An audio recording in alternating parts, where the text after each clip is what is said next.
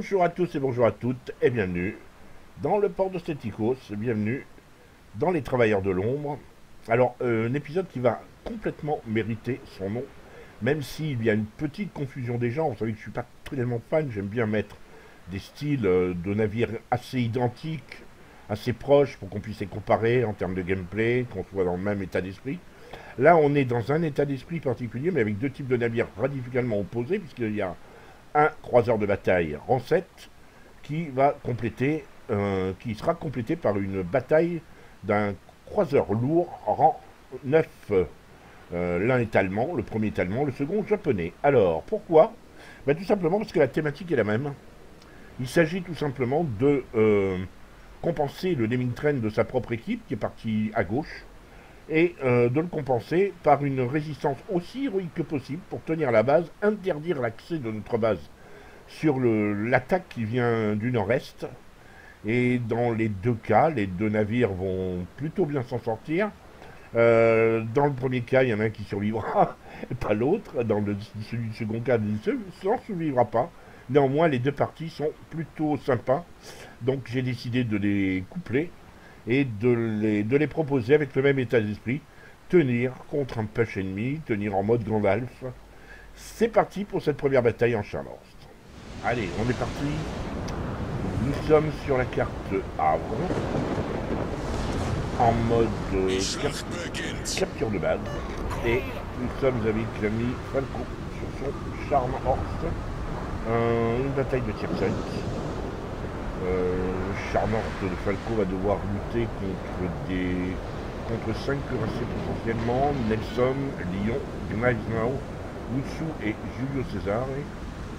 Les croiseurs, c'est un New Orleans Grachp Aoba, et surtout 4 destroyers, 2 torpilleurs, 2 Akatsuki d'ailleurs, et 2 contre-torpilleurs, un Gaide et un Minekaze. Alors, voyons comment l'équipe se déploie priori, Falco n'est pas forcément un grand fan de partir vers le nord avec, euh, le, la Galissonnière. Il regarde un petit peu comment sa flotte elle, se déploie, mais visiblement, toute sa flotte a décidé de partir plutôt vers l'ouest. Donc, de, de laisser ce flanc, flanc du nord, grand ouvert, puisque euh, les deux destroyers que sont le Z-39 et l'Akatsuki vont euh, s'associer au Lagalissonnière et, au Charmant de Falco pour protéger ce flanc. S'il y a une grande offensive ennemie de ce côté-là, ça risque d'être euh, chaud pour le malheureux croiseur de la taille qui est le Charmant.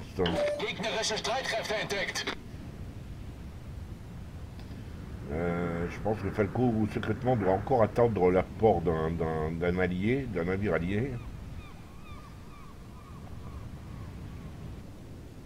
Il sait qu'il n'est pas encore vu, il n'est pas encore détecté. Grisdo qui file à pleine vitesse. Ah, il, y aura, au moins deux cuirassés en face de lui. Parce qu'il y a Nelson aussi qui est là. Devant ce, ce push ennemi. Le gallictionnaire qui s'est beaucoup avancé, il va être obligé de faire demi-tour tant que c'est encore possible.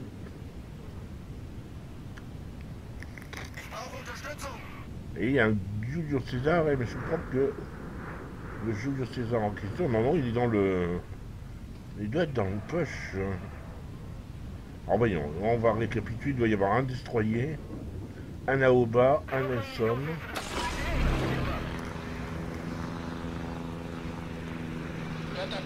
Ah, il y a vraiment une grosse partie de la flotte ennemie, voilà le destroyer, c'est le Gaïde qui fait le spot. Le Gaïde qui s'est beaucoup avancé. Là on va se retrouver en mode... Euh, Falco et les Galissonnaires vont se retrouver en mode Gandalf. Soutenu c'est vrai par DDD, mais... Euh, il y a vraiment... Euh, ça va être compliqué. Ça va être très très compliqué. Gaïdé a ses torpilles, probablement dans le vent d'ailleurs. Pour rien. Falco, oui, oui, il doit être en train de rager en disant euh, Bonsoir, mais ils ne s'aperçoivent pas que ça pousse de ce côté-là. sont tous, il y a au moins trois cuirassés côte à côte dans même carré là-bas, chez eux, dans l'équipe de Falco. Un plus joli tir sur la Katsuki, assez loin, 9 km, c'est pas mal de, toucher la Katsuki de cette manière. Katsuki qui est venu lâcher ses torpilles après le Gaïde. On a vu les torpilles du Gaïde qui étaient en train de mourir faute d'avoir touché leur cible, elles étaient trop loin, c'est vrai. Deux jolis tirs de Falco, mais il n'a pas touché. C'est passé juste au-dessus. Et maintenant, voilà les bienvenus et bas qui vont se à tirer. La situation n'est vraiment pas, pas facile pour le charmant.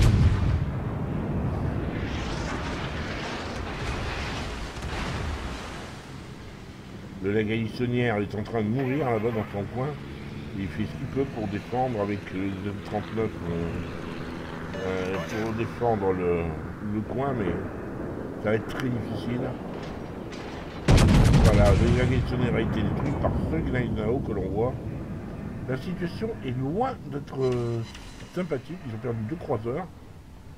Un de, sur chaque aile d'ailleurs. Plus... Euh, ils ont perdu la Belfast et de la Galissonnière. Voilà. Ils ont perdu un Belfast en plus, c'est pas pas pas vraiment pas facile là, pour euh, l'équipe de Falco. Falco qui se réfugie euh, très rapidement derrière une île euh, sur son cap, sur son oui, sur sa base, en espérant être relativement tranquille. Le push ennemi n'a pas vraiment pour l'instant, voilà, il se poursuit. Mais dans le doute, l'ennemi avait un petit peu... avait décidé de ne pas trop en faire. Donc là, il rentre dans le Nuremberg et nous couper la route. Faites attention quand vous êtes en croiseur ou même en cuirassé d'ailleurs. Évitez de couper la route à vos adversaires, on n'est pas le prioritaire forcément.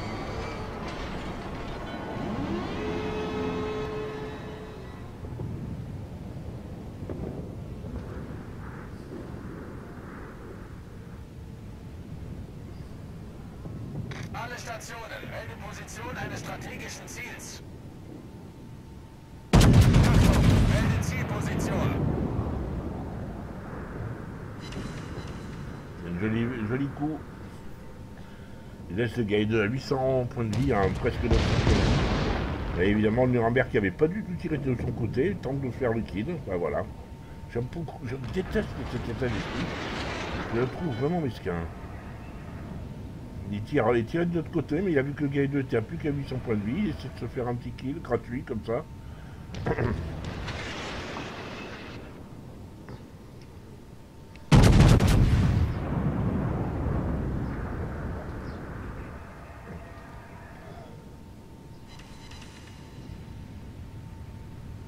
sur, sur le mur en ligne. Il devait espérer faire une citadelle, mais ça raté non.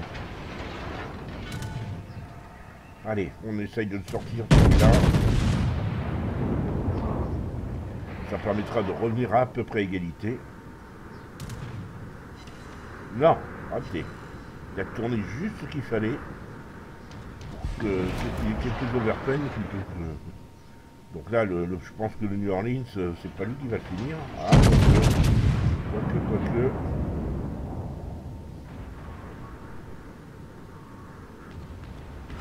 Voilà, c'est son Gegnerischer Kreuzer zerstört.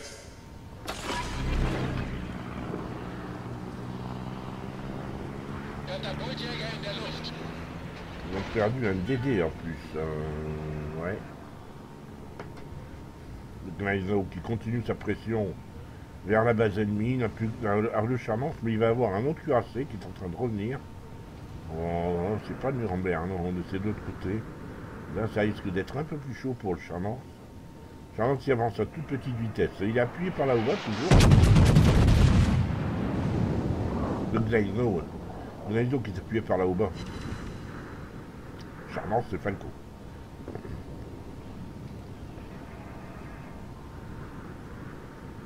Il distribue ses chouquettes à droite à gauche.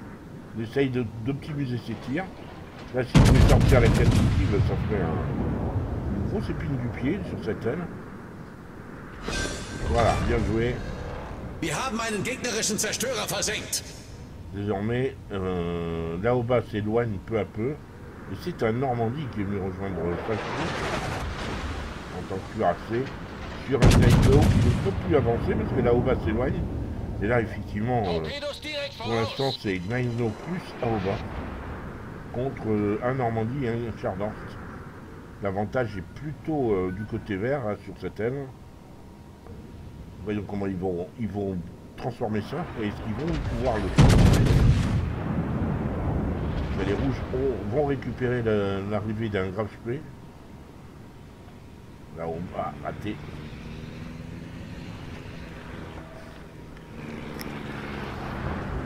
Le Grisno ne bouge plus, il est en mode tourelle euh, défensive, voire même en train de reculer bénéficie du, de l'apport, je pense, du Gaïde, qui ne pas qui est ouais c'est ça, c'est Gaïde qui est venu mettre son, son de fumée. Par contre, ce qui est ballot, c'est qu'il aurait pu faire un autre kill. Bon, le Gaïde était touché par le Normandie, ça va. C'est de, mieux en mieux, ils, sont en train de, de, bah, de faire à peu près la partie égale, le jeu égal avec l'ennemi.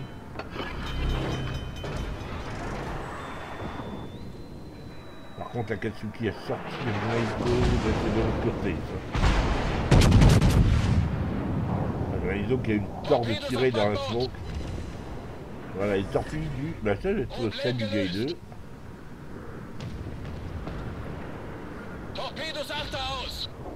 les torpilles n'ont pas touché, par contre, elles arrivent en, en mode course, c'est celle du Gay 2. Rashplay, le Gnaido continue de tirer de sa smoke.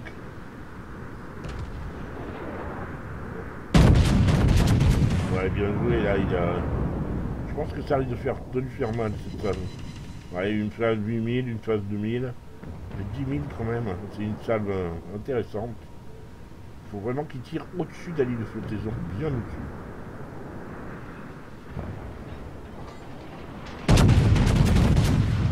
Ah, il, allé, va chercher le grand il le prend. Boum, citadelle sur le grand et on, est on remonte à 51 000, voilà, ça recommence à devenir intéressant en termes de dégâts. Essayer de refaire une citadelle sur le graphique. Euh. Allez, je parie pour un tir dans l'eau.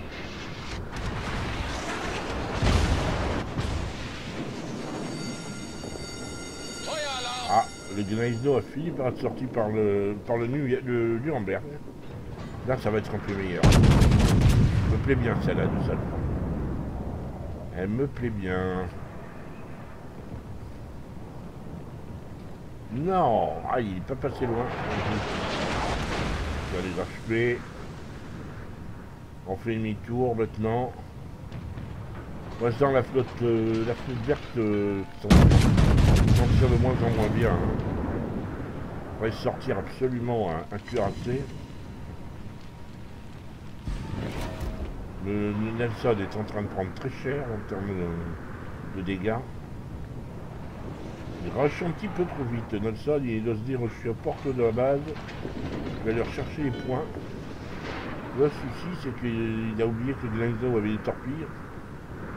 Ça risque de faire mal.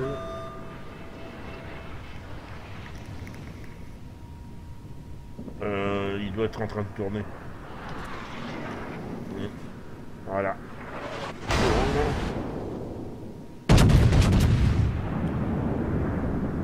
Nouveau grave de flanc. Pas évident. Attention torpille, attention Nelson. Il y a moyen de torpiller. Faut tourner, faut juste tourner.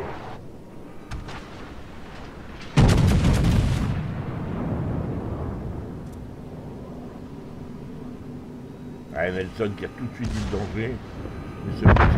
Mais il s'est fait sortir à l'inondation en prime. Résultat, les Verts reviennent à 30 points seulement. Mais euh, ce qui veut dire qu'en termes de frag, ils ont, euh, ils ont fait un kill de moins.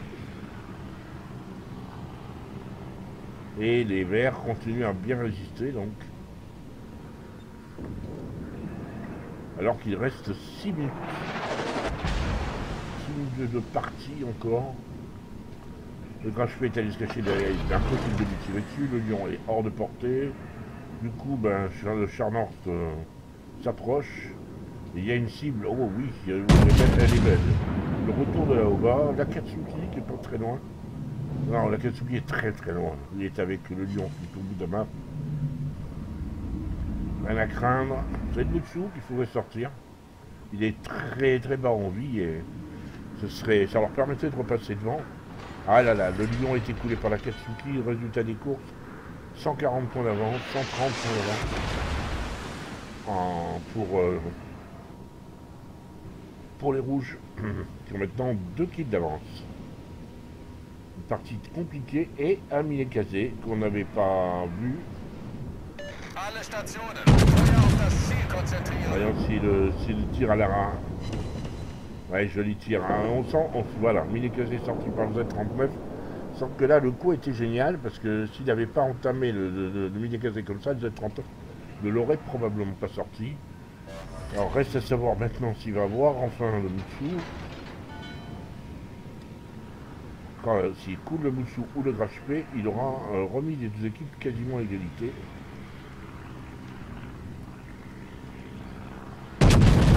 Mais sont vraiment dans une position complexe et délicate, on va dire. Pas de citadelle, c'est dommage, mais il était anglais. Parfait, c'est très bien anglais. Attention quand même aux torpilles. Hein.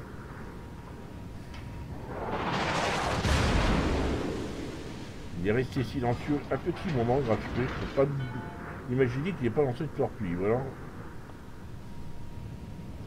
Je pense que Falco connaît assez bien les, les pièges de ce genre de situation, ça ne sera pas surprendre. Là par contre à, l'arrière, un ticket de 6 voilà les torpilles. Le Falco était quasiment à l'arrêt. Il ne s'est pas laissé surprendre. C'est un truc vieux comme le monde.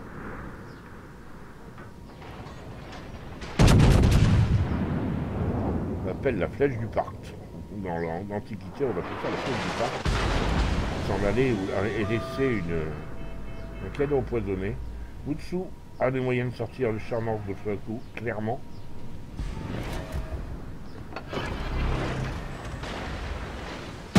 le Mutsu est un Nagato au stock, mais c'est un, un tier 6, donc il fait très mal et qu'il a des torpilles.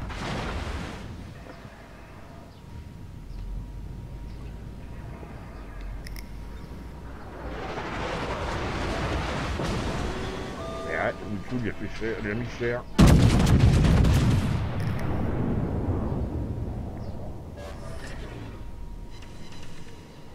Trois mille.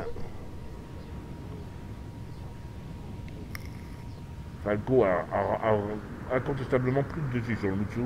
Il a plus de points de vie. Il est plus agile. Et le Mutsu a une, euh, un incendie. Donc, euh, enfin, il avait, il a plus. 4 sur Falco à lui viser. Plus que 3. Il que 4. Attention, Falco.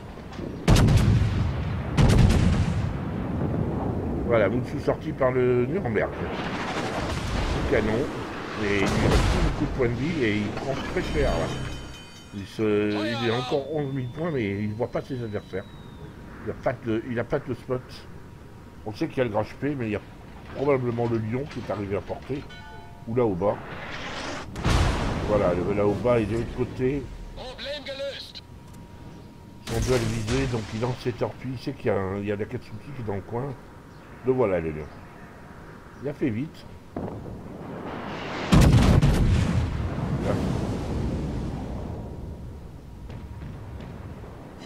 Boum, bien joué. Ah là au bas, je continue à lui faire les grains. Non, c'est pas là au bas. C'est le grand chemin. Ils sont plus de 3 hein, chez les rouges. Rendez-vous compte comme les 4 derniers survivants verts ont renversé la, partie, la tendance.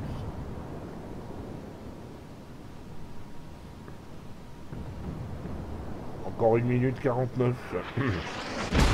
si Falco ne se fait pas couler, les verts devraient s'imposer dans une bataille qui aura été épique, hein, de bout en bout.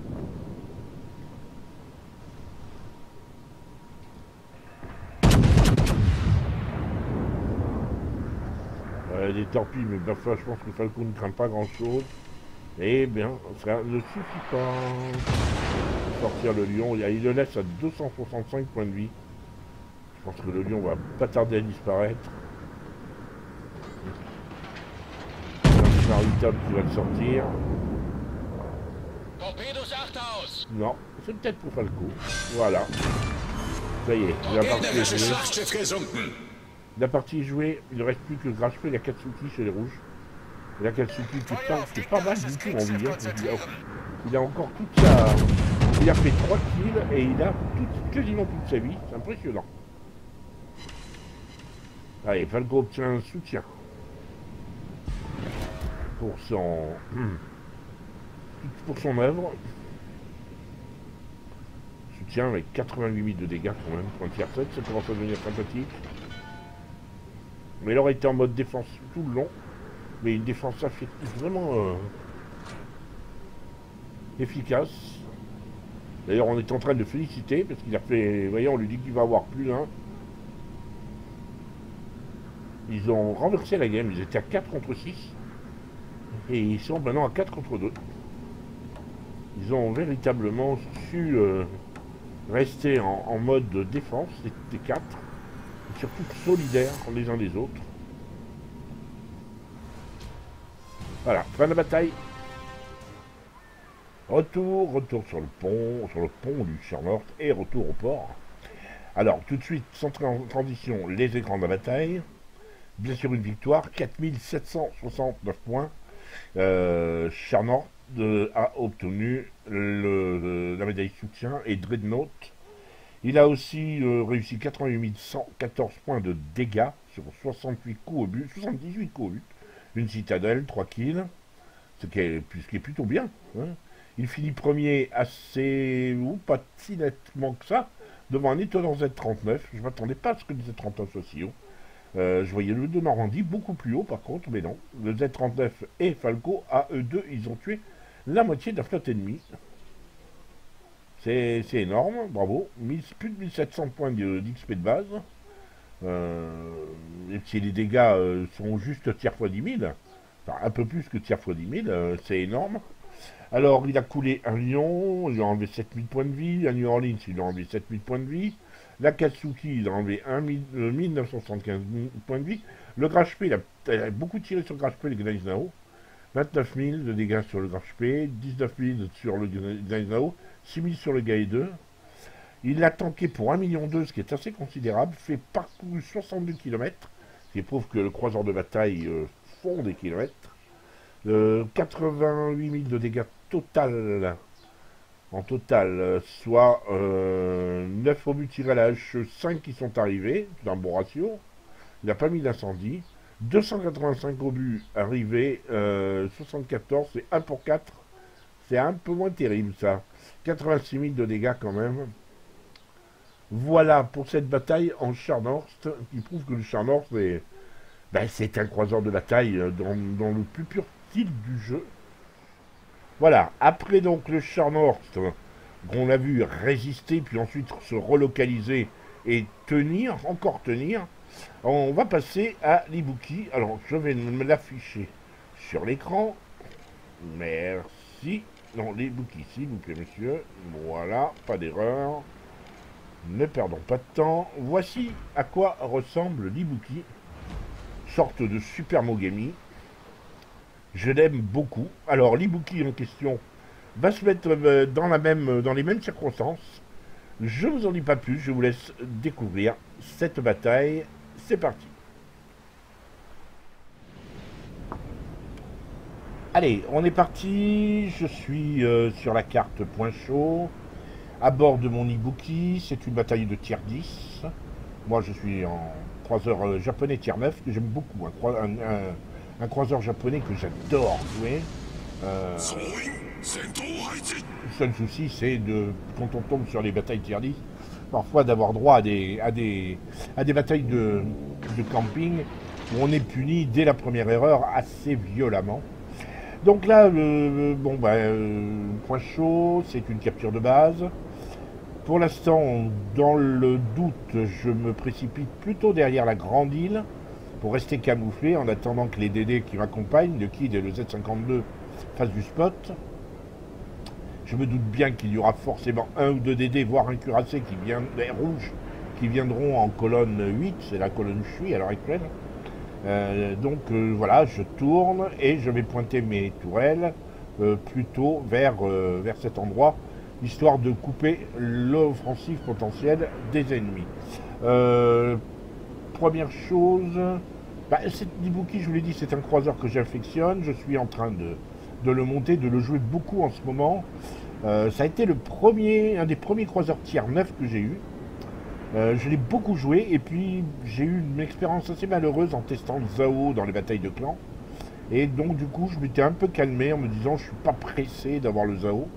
Maintenant il s'avère que bon bah, à force de monter tous les croiseurs hein, et de commencer à les, collectionner, les croiseurs tier 10, il me reste plus que le croiseur anglais, donc le Minotaur, le croiseur américain, le Démoine, et le Zao à obtenir. Donc bah, comme l'Ibuki est plus très très loin de devenir un, un navire élite, euh, ben, je commence à aller, je vais chercher le Zao, on verra bien.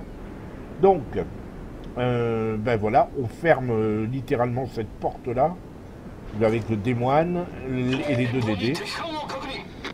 On va tomber donc sur Loudaloy, premier, premier client, mais il n'y a pas que lui, vous voyez, il va, on va voir le démoine là-bas.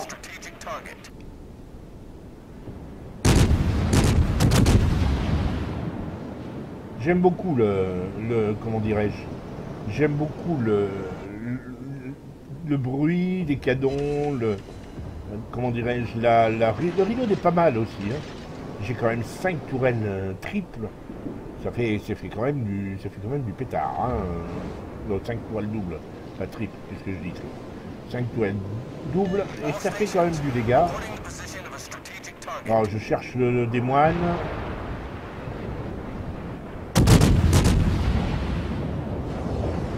et les Roma. On les retrouvera ces deux-là. On va les revoir. Pour l'instant, on a perdu un DD. Et ils ont perdu un DD et un croiseur, le Rune. Là, j'ai bien fait de tourner. C'est un tir du Roma. Ça, c'est un tir. Alors, vu le rideau, c'est un Minotaur. Voilà. Le kill a sorti d'Aloy. On est plutôt bien. Hein. On mène 3-1 ça se passe pas trop mal. Je n'ai que 5 de dégâts. C'est pas terrible. Le Minotaur continue à essayer de me, choper, mais il n'y arrive pas. Alors je, me viens une idée, comme je vois, je vois que le démoine et le romain sont en train de faire le grand tour, et qui vont aller en colonne 9, probablement. On voit la, on voit la trace hein, sur, euh, en comment dirais-je, dans, la case D, 8 euh, et, et D9 d'ailleurs on imagine qu'il y a au moins trois deux croiseurs et un cuirassé qui se pointent dans ce coin-là. Je décide donc d'aller couper la route et de me servir comme repère de notre démoine en me disant, lui, il va s'occuper d'un côté et moi, je vais, je fermer la porte de l'autre côté. J'espère que le démoine sera simplement pourra faire du les repérer parce que si c'est moi qui les repère, je serai forcément repéré à mon tour et elle risque de prendre très très cher dans cette affaire. Donc euh, le démoine s'est positionné, euh, notre démoine vert s'est positionné en, comment dirais-je, en, tourelle flottante. Voilà le, démoine rouge, comme prévu. Je pense que, voilà, il y a un minotaure, le minotaure qui est derrière et le romain.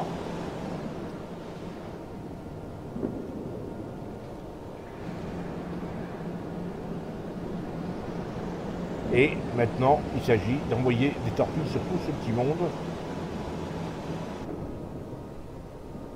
J'ai deux sets de torpilles par flanc. Ça doit pouvoir euh, s'optimiser. Voilà, le démoine recule. Ça y est, je suis repéré par le démoine. Donc là, vous voyez, j'ai lancé une torpille un peu plus en arrière parce que j'ai anticipé une potentielle accélération. Mais il est en train de démarrer sur la marche arrière. Donc je me dis, je vais, euh, il, va, forcément accélérer un petit peu, j'avais un peu peur de le louper.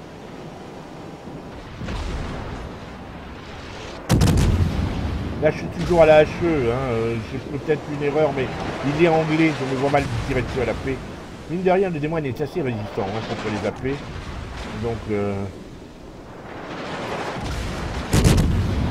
Ah, je prends cher parce que le Minotaur va se met sur moi. Deux torpilles, et voilà. Le démon est coulé. Il a, il a sauvé la vie de son Minotaur. Enfin, il a sauvé la vie. Le Minotaur n'aurait probablement pas été coulé. Minotaur qui continue à me tirer dessus comme un grand malade.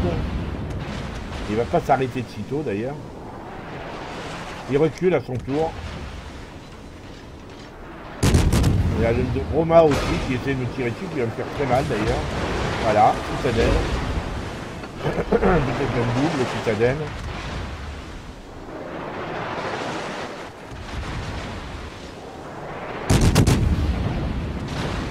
Et ça ne suffit pas, il faut que je...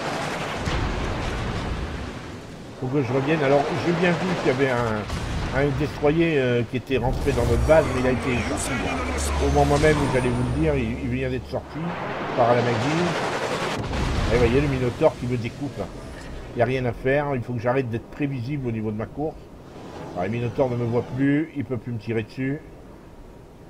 Donc moi, je vais commencer à tirer sur le Roma. Là, l'idée, c'est d'aller intercepter le Roma, parce que je vois bien que le Roma a lancé les machines et s'est mis en, cours d'accélération et qui va faire le tour de l'île? Il va donc essayer de nous prendre à revers. La bataille n'est pas perdue, loin de là, hein, elle est presque gagnée d'ailleurs. Mais euh, le Roma peut encore nous faire très mal, surtout qu'il ne me reste plus beaucoup de points de vie. Que j'ai utilisé mon heal, et donc euh, je suis dans une position inconfortable avec 9000 euh, points de structure sur les 39 000 de base.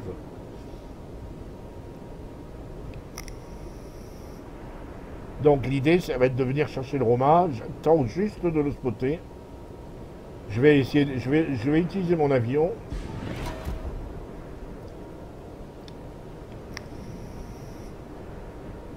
Pour avoir du, spot, mais j'attends que le, le démoine fasse, fasse du spot, mais il est derrière l'île.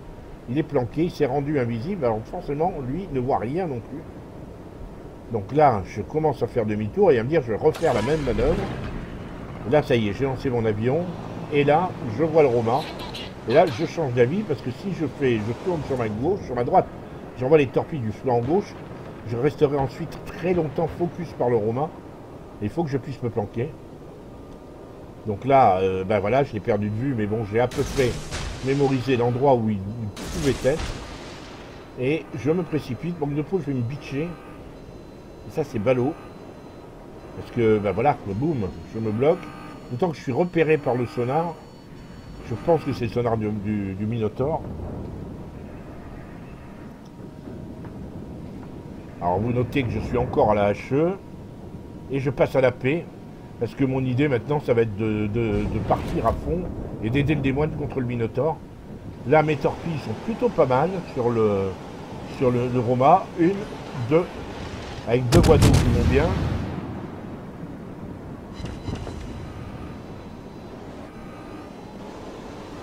Mais des voies d'eau qu'il a éteint. Et là, il me reste plus beaucoup de points de vie. Et donc, j'ai pas de torpille sur ce plan-là. Faut que je sorte le Minotaur. 5 citadelles d'un coup sur une salle. Manque de peau, je ne sors pas. Fin de la game pour moi, 105 000, 113. La partie est quasiment terminée on va, vous allez voir que je vais me mettre sur le démoine pour voir comment il s'en sort par rapport au Minotaur. Vous voyez, je cherche sur qui me mettre. Voilà, on va se mettre sur le démoine, voir comment il agit. Démoine qui ne prend pas de risque. Le Minotaur est un navire qui a des torpilles et avec un pouvoir d'accélération euh, qui risque de le mettre en position de torpiller le démoine. Le démoine a, raison de réagir comme il réagit, d'autant qu'on a très nettement l'avantage et que les deux survivants sont sous vos yeux c'est le Minotaure et le Romain. Donc le démoine doit absolument rester vivant.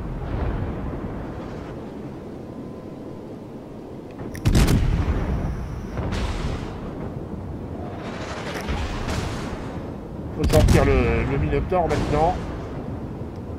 Première tentative, il reste 5000 points de vie, 5700 points de vie. Ah, il a bouncé, il lui a enlevé que 500 points. Donc il est passé à la HE. Et là, Évidemment. Alors c'est la Maggie hein, qui a fait euh, un petit vol de kill là. Du dommage. Ah bon. Donc le démoine est repassé à la paix pour tirer sur le, flanc du Roma. Je crois que la Maggie.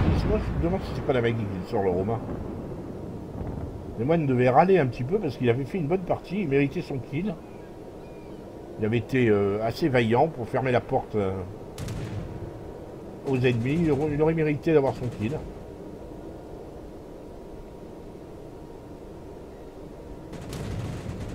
Voilà. On va voir comment il se débrouille face au Roma qui va être de flanc et qui va affronter la Maggie, je crois. Ouais, c'est la Maggie qui va être de face. La Maggie point Kraken. C'est pas la Maggie qu'il a eu. Si, c'est la Maggie qui a son Kraken.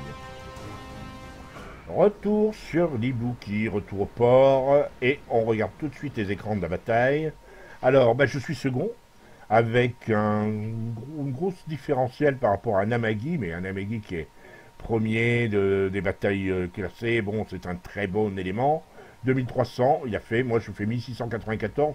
1694 avec un, rang 9 contre des rangs 10. mais s'il n'y en pas beaucoup, mais il y avait quelques rangs 10 quand même. J'estime que j'ai fait, euh, fait, mon, fait mon job. J'ai fait une bonne bataille, clairement. Je suis assez content de moi. En termes de, des dégâts, on va s'apercevoir que, ben voilà, j'ai tiré sur trois navires, mais j'ai mis un maximum de dégâts sur chacun. 29 000 sur le démoine que je coule, 47 000 sur le Roma, euh, et 28 000 sur un Minotaur. Je regrettais de ne pas avoir un peu plus de points de vie parce que j'aurais pu le sortir. Clairement, j'avais des j'avais les reloads, j'avais tout ce qu'il fallait. J'ai presque tanké pour un million, 969 000, qui est pas mal. Je n'ai fait que 37 km, c'est bien ce que je dis. Essentiellement, j'ai tiré à la HE, mais 16 obus à la P, 14 ont touché. C'était les tirs sur le Minotaur. 66 euh, obus à la HE, 23 en touché. Là, c'est 1 pour 3. Bon, c'est pas terrible. 19 000 de dégâts. Et euh, très peu de dégâts. Euh, j'ai pas mis un seul incendie d'ailleurs, c'est curieux, mais c'est tout à fait bizarre. et j'ai pas fait de dégâts à l'incendie avec un japonais, c'est quand même assez étonnant. Est-ce qu'on a le. Est-ce que je vais mettre. oui. Le commandant marque 17 800 points d'XP supplémentaires. Il prend un point de plus d'ailleurs, ce qui est plutôt sympa. C'est plutôt pas mal.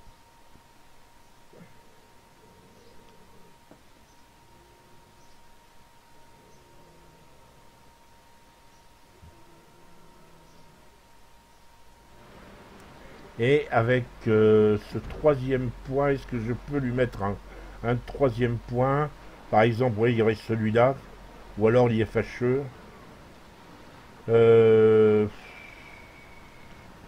euh, L'IFHE, parce que malgré tout, même avec l'IFHE, on augmente la capacité de, pénétration, on baisse d'un tout petit peu les incendies provoqués, mais c'est pas... Je vais lui mettre... Ah ben non, je pas...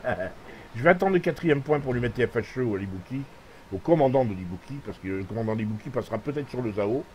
on verra, d'ailleurs, je vais regarder avec vous euh, j'ai un commandant 8 points qui est libre. C'est un commandant de DD, donc euh, bon, ben voilà quoi. Voilà, on verra, on verra, on verra, on verra. Voilà, et euh, moi personnellement, j'ai beaucoup aimé cette bataille. généralement, je suis pas très fan des batailles de très haut tiers, vous le savez, je le dis souvent. Mais néanmoins, là, bon, ben, on a su plutôt bien s'en sortir, même si je ne finis que second. Ben, la bataille du travailleur de l'ombre, c'est ça aussi, hein, c'est de savoir se sacrifier. Euh, quand il n'y a pas d'autres possibilités, euh, se sacrifier pour, euh, bah, pour faire exploser la défense ennemie, pour que la défense ennemie sur l'autre flanc explose et qu'il y ait une conquête de base, voire un retour de, notre propre flotte pour venir nous, nous, appuyer in fine, in extremis d'ailleurs. J'espère que cette vidéo vous aura plu, j'espère que ça vous aura été utile. N'hésitez pas à me le faire savoir, liker, commenter. Faites-moi connaître, partagez, pourquoi pas. Et puis à très bientôt pour une nouvelle thématique. D'ici là, portez-vous bien et à bientôt si vous le voulez bien.